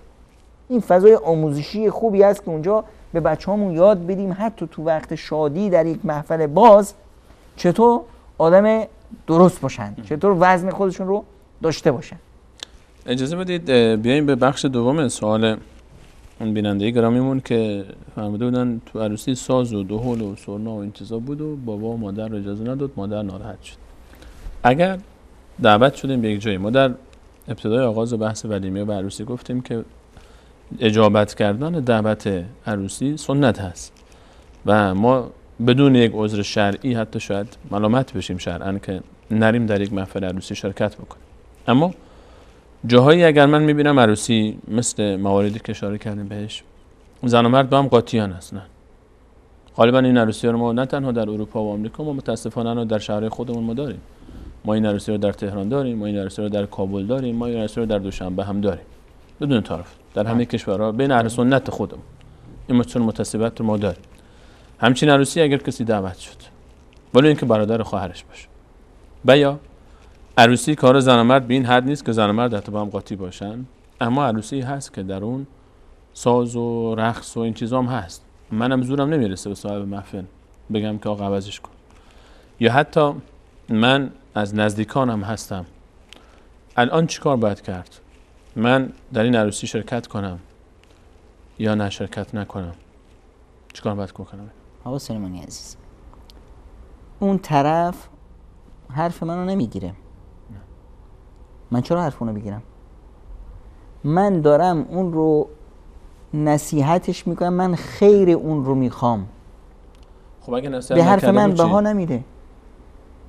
درست؟ اون شر منو می‌خواد. من به حرف اون بها بدم؟ پس کجا شد شخصیت من؟ آقا این ازدواج ازدواج خواهرت. ازدواج داداشت. ازدواج بابات. بله. ازدواج خودت. نزدیکان. خودته. وقتی که به حرفت بها نمیدن وقتی که به صلاح مخالفت مخالفت خدا و رسولش می‌کنن نرو. چطور من در ازدواج خودم نرم؟ نمیرم. وقتی من نرم چی میشه؟ ازدواج صورت می‌گیره؟ که دیگر جای من میارن نمیشه که نمیشه. نمیشه. حتما مجبورن دیگه. آخر چی میشه؟ تنازل بدم مجبورن. من باید نشون بدم. وقتی میگیم که بسو قدیما می‌گفتن گربه رو باید دم هجله کشت اینه. اگه بابای گفت غلط می‌کنی چی؟ خب باشه غلط می‌کنم ازدواج نمی‌کنم. بعضی وقتا واقعا اینجوریه جناب دکتر. ما خیلی از ما یکی از پیام هایی که خواهر بزرگواری فرستاده بود که من دوست دارم من یک عروسی اسلامی داشته باشم اما خانواده راضی نمیشن. میگن نه خیر ما برامون بد زشت عیب به چی ما تو عروسی ساز نیاریم رقص نیاریم یک شب که هزار شب نمیشن. یک شب بعدش حالا توبه می‌کنیم و تکون من بعد قوم صالحین. حالا بعضی اینجوری میگن یک شب حالا هر چی شد بعدش فرداش نماز می‌خونیم روزه می‌گیریم توبه می‌کنیم. عزیز. ما می‌تونیم خودمون رو گول بزنیم. اما آیا می‌تونیم خودمون رو گول بزنیم؟ امکان نداره. هرگز. خواهر من شما یک ازدواج درست میخوایی مهم. یک ازدواجی میخوایی که در اون خدا و رسولش از شما راضی بشه. خوبه؟ مادر رو نمی‌دونم جامعه و فلان اینو نمی‌خواد. ازدواج مادره یا ازدواج شما؟ شما می‌تونید سرکشی کنید. می‌تونید ببینید اینجا یک قانون موضوع ببخشید. اینجا موضوع تمرد از والدین مطرح نمیشه. انسان در این گناهکار نمیشه. شاید کسی فکر بکنه من اگر از حرف پدر مادرم سرپیچی کنم گناهکار میشه استاد سلیمانی یه چیزی میگم. حالا پدر مادرها از ما دلخور میشن اما حرف تلخ باید گفت. در قضیه ازدواج چیزی به نام حقوق پدر و مادر به اون وهمی که در تصور ما هست نیست. که یعنی همه کار پدر مادر باشن. همه کار پدر مادر نیستن. همه کار شما جوونایی. مهم. دختر خانم پدرش اون رو مجبور کرده بود که با حساب پسر عموش ازدواج کنه. اومد پیش رسول خدا صلی الله علیه و پدرم منو مجبور کرده. پدرشو بیاریم. گفت دخترم؟ پدرت هر چی می‌خواد بگه بگه. ازدواج آخ... آخرش خودتی. مهم. پسر عمو تو می‌خوای یا نه؟ ای قربون همین دختر آقا سلیمانی واقعا این دختر خانم ما اسمشو نمی‌دونیم. تاریخ حکایت اسمشو ذکر می‌کنه، نمی‌کنه. اسمشو ذکر نمی‌کنه. یک دختر انصاری بعضی دختر مدینه. اما یه دختر عاقل شاهزن. یک شاهزن و یک معلم. گفت یا رسول الله من اصلا عاشق پسرعمومم اما می‌خواستم همه بدونن همه یه پدرها بدونن که تو اینجا هیچ حقی ندارن. خواستم یه قانون مشخص بشه. تا مجامع بدونه. چی به چیه؟ آقای محترم ازدواج رو شما دو تا جوون می‌کنین. دختری که پدر مادرش اون رو به ازدواج در آوردن به زور و نخواست هر لحظه می‌خواد ازدواج رو فسخش می‌کنه. این ازدواج نیست. و در محفل عروسی؟ در محفل آقا نمی‌خوام. داد بکشه بیاد بگه آقا من این ازدواج رو قبول ندارم. این محفل به این شکل نباید اجرا بشه. باید اونطوری که من می‌خوام اونطوری که خدا و رسول راضی میشه. برنامه رو اینطور می‌ذارید من هستم. نه می‌ذارید خودتون برید ازدواج کنید من نیستم. خب حالا این برای کسانی که مثلا نزدیک هستن با ازدواج محفل خود آدم خواهر برادر عمو پدر خاله دایی میشه. ولی یه کسی هست بچه محل دوست آشناست اینجور که دیگه می‌تونیم ما تعیین تکلیف بکنیم. آقا اگه اینجوری بگیرید من میام نیام. خب اینجا نمیرم. من نرم. نمیرم. هر جایی ببین یه قانون کلی این رو بنویسیم تو اتاقمون جلوی رومون بذاریم همیشه هم جلوش روزمون باشه. لا طاعت لمخلوق فی معصیت الخالق. هر زمین به زمان برسه من مخالف خدام نمی کنم این قانونه حرف خدام رو زیر پا نمی‌ذارم به خاطر حرف پدر و مادر به خاطر نمی‌دونم شوهر به خاطر این و اون. این قانون رو جلوی خودمون بذاریم. اگر این کارو کردیم چی میشه؟ چی میشه؟ اگه این کارو کردیم ما اولا تو چشم همه بزرگ میشیم. باید آقا بیاییم یه برنامه بذاریم بریم نمی‌دونم فلان الان سلیمانی رو هم دعوتش می‌کنیم. پس موضع باشید ها. این کارو نکنید اون کارو نکنید این کارو نکنید ایشون خیلی بعدش میاد از این چیزا. خود به خود مردم اولا ما تو چشم مردم بزرگ میشیم. تو قلب مردم عزیز میشیم. همه جامعه با همه بدیایی که داشته باشه همیشه از آدم خوب خوششون میاد پیامبر خدا قبل از نبوت علیه والسلام اسمش چی بود؟ محمد امین چقدر مردم دوستش داشتن؟ بیشتر از خودش واسه چی؟ صداقتش نجابتش شخصیتش حجبش حیاش صفات اخلاقیش مگه جامعه شراب نمیخوردن؟ چرا جوانای رفیقای پیامبر اکرم صلی الله علیه وسلم تو مکه قبل از اسلام شراب نمیخوردن؟ خیلی. بچه ها! صادق امین داره میاد ها! همه چیزو پنهان کنید. کی مگه پیامبر مجبورشون کرده بود؟ اخلاق. اگر خودت باشی تو چشای مردم؟ عزیز میشه خیلی جالبه. یه چ- قصه تعریف کنم. جاشه. دیروز در پاکستان یک خواننده بزرگ پاکستانی بود به نام جنید جمشید. این رقاص بود و خواننده بود و نمی‌دونم فلان بود. دیروز وفات کرد بعد از این که خدا هدایتش داده بود. این جوونه چه تعریف می‌کنه؟ میگه که بعد از این همه رقص و دهل و سرود و نمی‌دونم ترانه و فلان و اینا و اینا من احساس می‌کردم همه چی دارم. پول جلوی زیر پام ریخته. دختر همچنین مثل چی لول می‌زنه اطرافم. اونم رنگ و وارنگش اما سعادت ندارم. آرامش درونی نه آرامش ندارم. خوشبخت نیستم. این دنبال خوشبختی گشتن اینو رسونده بود به اسلام و به پایبندی بدین. پایبند شده بود بدین. هر چه ثروت در در به دست داشت همه رو انفاق کرده بود این ور اون ور دیگه یک آدم لذت میبرده از دینش و اینا یهو احساس کرده که هیچی تو بساطش نیست. خدا من امتحانش کرد. میگه که من خیلی موندن تو چی؟ تو فقر. یک آزمایش سخت. یک آزمایش سخت. در همین اثنا یک پیشنهاد اومد. ببین شیطان چقدر بیکار نیست ها. منتظر فرصت میگرد. منتظر فرصت. براش یک چی اومد؟ یه پیشنهاد اومد از کجا؟ از لبنان. از شرکت پی... پپسی کولا. که؟ که آقا بیا یه خواننده مسیحی لبنانی است یه دو رقصکی می‌زنی باش رقص هم نزن یه عکسی میندازیم با شما خب؟ و یک میلیون دلار میده. پول کمی نیست؟ میگه گفتم بالا یه عکسه و منم وزم این. برو. برام به صلاح بلیط فرستادن تو یک هتل آنچنانی هم برام رزرو کردن من رفتم. رفتم و استقبال خوب شد و فلان شد و گفتن که فردا با اون خانمه هم آشنا شدیم و قرار شد فردا عکس. بندازیم اما گفتن تو حالا پایبند بدین شدی این ریش چیه که روز چی هست؟ آقا این ریش رو باید بزنی. نمیشه دیگه با این ریش با این خانم لخت مثلا عکس بندازی همچین نمی‌خوره. شیطان اومد گفت که بابا این ریشه یه تیغ می‌زنی حالا که اینقدر بزرگ هم نیست. دو در میاد. یه هفته بعد برمی- برمیگرده اما یه میلیون دلاره. گفت ریشه رو زدم. ریشه رو زدم بعد اومدم به اصطلاح پیش اون خانمه. اون خانمه خیلی به شیطونی بود. گفت اه پس قیمت دیلت همین بود؟ ارزون فروختش. خیلی ارزون فروختیش. میگه این مثل یه چکش خورد تو سرم. گفتم که خب. گفتن فردا به اصطلاح میای پروف هست و فردا به اصطلاح تصویر برداری میشه.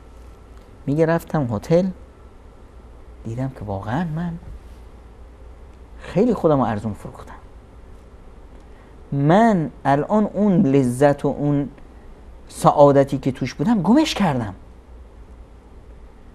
دیگه میگه اون روزو همونجا موندم تو هتل از کار و اشتباهی کرده بودم هی گریه می‌کردم. به حالم زار زار میگریستم.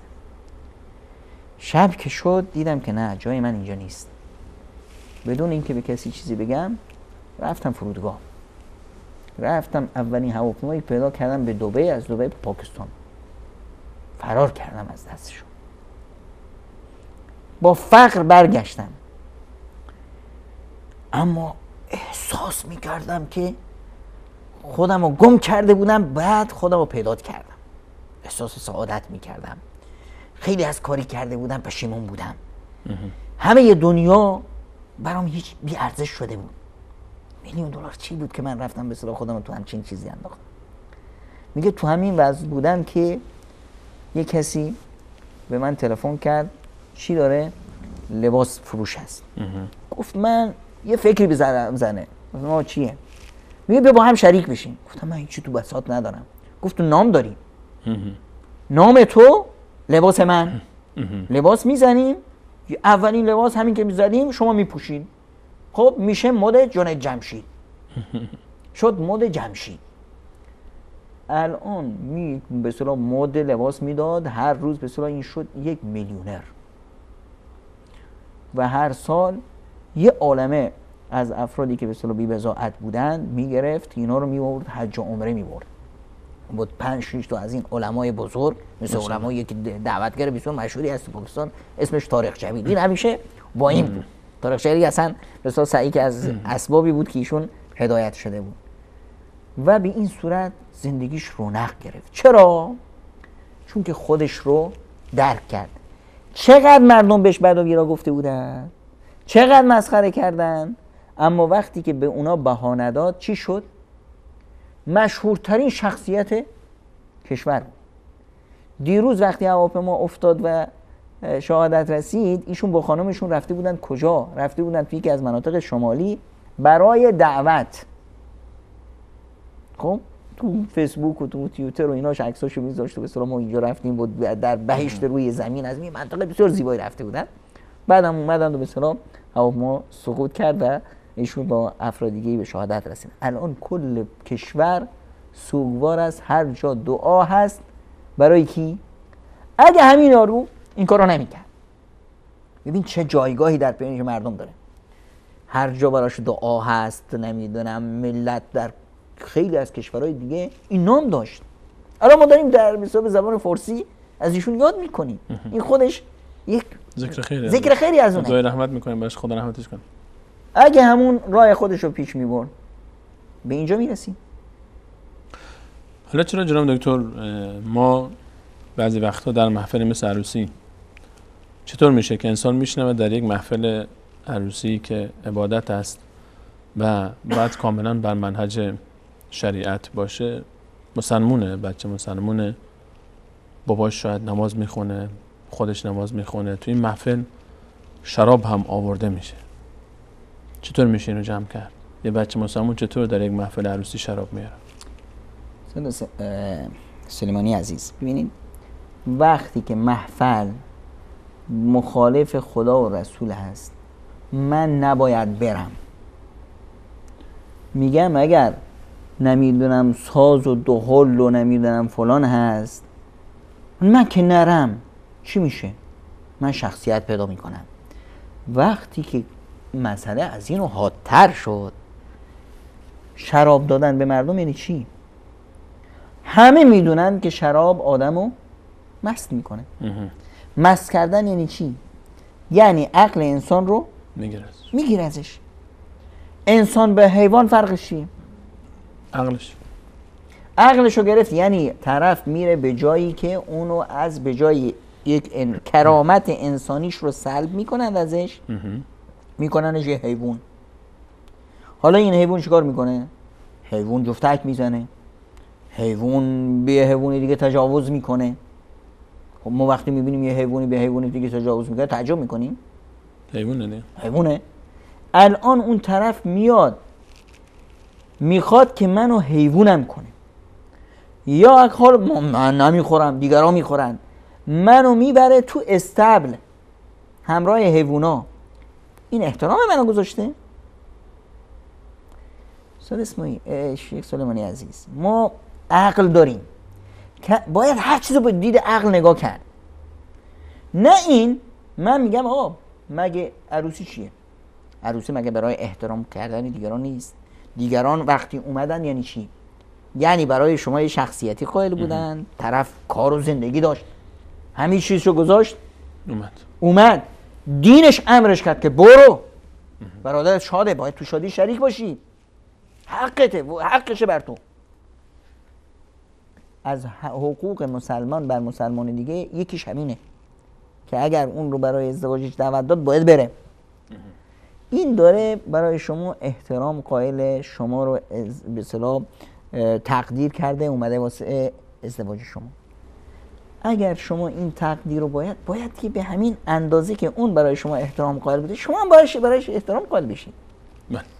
همه این حرکاتی که شما میگید این سلب احترام از اون است سلب کرامت از اون است سلب آزادی اون است. اگر اجازه بدید داره چون برادری پیام فرستادن برامون از آلمان. همین الان رو خط بستنم که آنچه که شما میگید که خوبه کاملا صحبته که دارید مطرح می‌کنید. اینا کاملا درست موضوع زیباست. اما اینا رو میشه وقتی میشه اجرا کرد که یک کشور اسلامی باشه. ایشون تو اروپا آلمان احساس می‌کنه که اصلا امکان نداره که آنچه که ما میگیم انجام نشه. یعنی مواردی که گفتیم هم اتفاق میفته و بعد هم اتفاق میفته. برعکس. استاد سلیمانی عزیز در کشور عزیزایی که در کشورهای غیر اسلامی هستند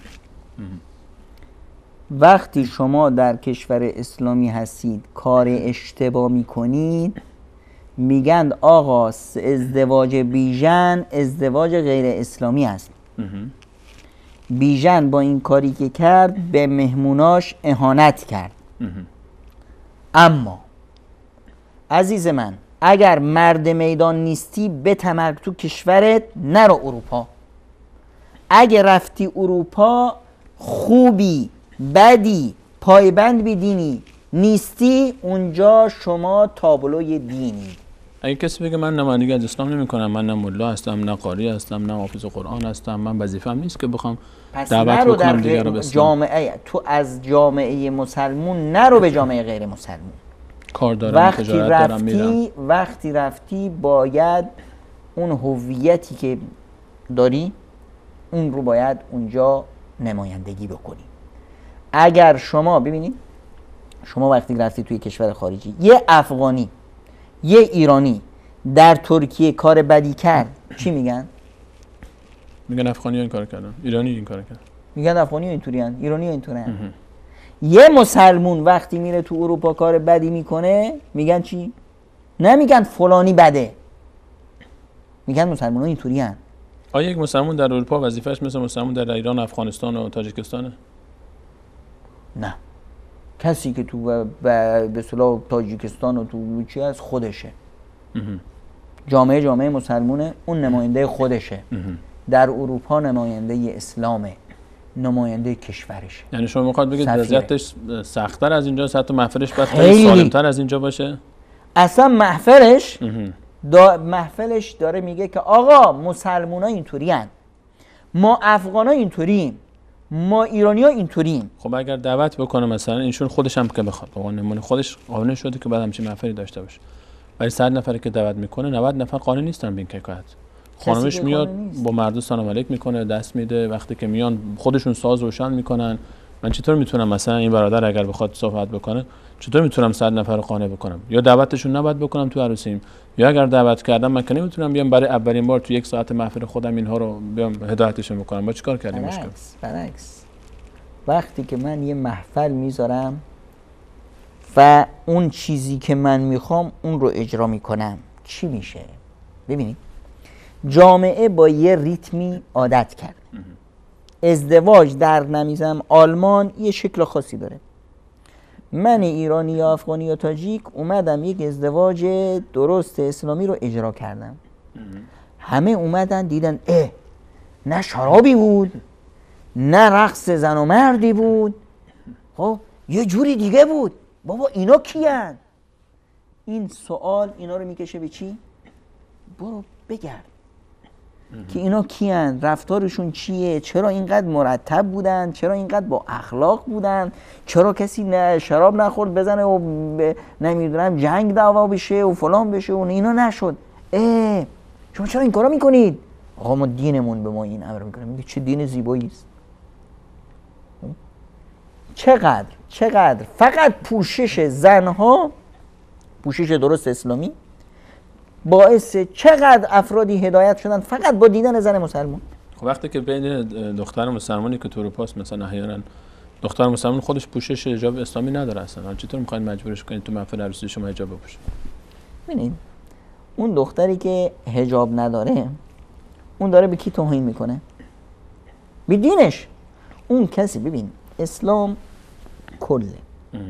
وقتی من مسلمون شدم باید مرد مردونه مسلمون باشم در همه چی نشون بدم که من مسلمونم. ببین به خصوص در اروپا وقتی که شما در یک جامعه غیر اسلامی اسلام رو به شیوه درست نمایندگی کنی خداوند متعال یه نفر یه نفر فقط از این ملتی که شما را تماشا می‌کنند و می‌بینند به سبب اخلاق شما به دلیل به با روند با اسلوب شما اینا مسلمون بشه. شما رو دید متاثر شد مسلمون شد. پیامبر خدا صلی الله علیه وسلم میفرمایند لئن یهدی الله بک رجلا واحدا. که خداوند سبب هدایت تو رو سبب هدایت یه انسانی قرار خیر لک من الدنیا و ما برات از دنیا و هر آنچه در دنیا هست بهتره. بهتره. دیگه از این چی می‌خوای؟ خیلی چی؟ جزاکم الله خیر.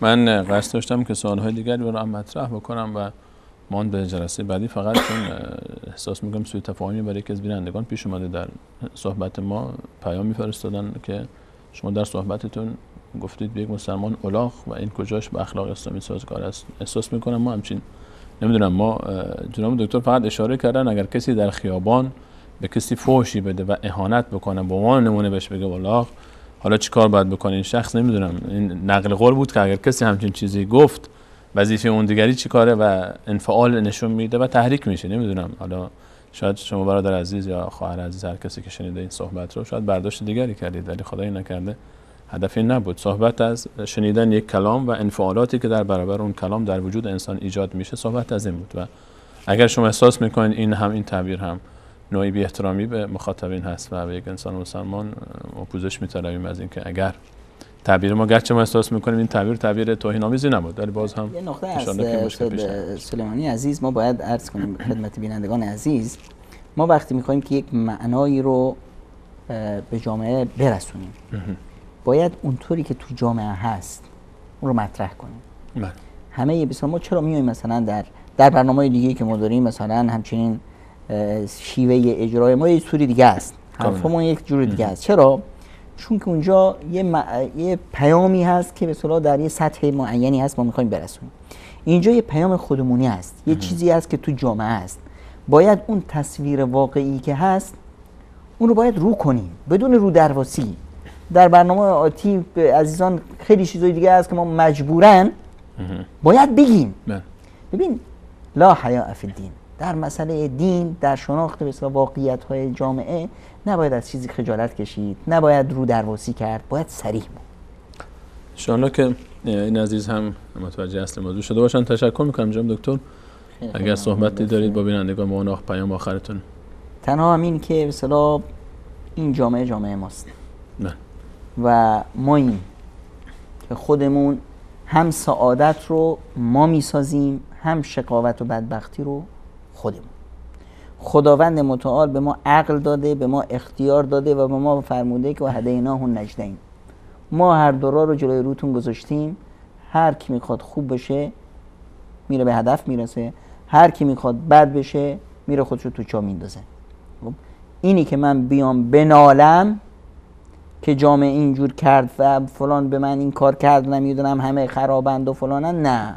اول باید یه نگاهی به خودم بکنم. ببینم که واقعا من درستم. اگه من درست باشم من پیش خدا عزیز بشم خداوند متعال محبت و عشق منو تو قلب همه میندازه. احترام من دست خودمه. محبت من در د- دلهای آخر دیگران هم دست خودمه. منم که تخم محبت رو میکارم و جایی که این تخم کاشته میشه جایی است که رضایت خداوندتون باشه. انشاءالله. انشاءالله. ممنونم از شما. و همچنین ما به شما شما بینندگان عزیز تشکر می‌کنیم که تا این لحظه برنامه خودتون یاری کردید. ما تا وقتی که مسلمانیم و ادعای مسلمان بودن داریم و امید بهش رفتن داریم و باور به الله و رسولش و قرآن و روز آخرت مجبوریم. تابع اوامر دین باشیم. حلال همیشه حلال است. و حرام همیشه به هر جا حرام. اینکه ما در شرایط فلان و فلان زندگی می‌کنیم هیچ توجیهی برای انجام حرام نیست و چاره جز پرهیزش نداریم و تا خودمون رو اصلاح نکنیم وضعیت بهتر نخواهد شد بلکه بدتر و بدتر و بدتر میشه. در آخر از الله متعال برای همه رفتگانمون دعای بخشش رحمت و مغفرت و برای خودمون تا آخرین لحظه حیات فهم صحیح دین توفیق بر انجام عبادت های صالح و آخر و حسن ختم با کلمه طیبه رو خواهانیم. و همه شما عزیزان الله متعال میسپارم. الله یار نگهدارشون. جزاکم الله خیر.